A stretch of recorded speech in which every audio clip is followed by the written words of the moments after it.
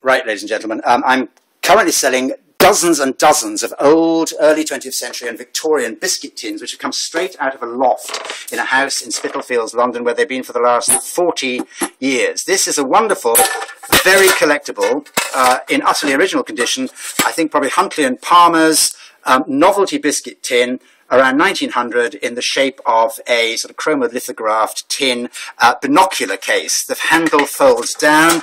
Um, the strap, which is originally here, a tin strap, is actually missing and is inside. So this part has come adrift, but actually is inside the tin.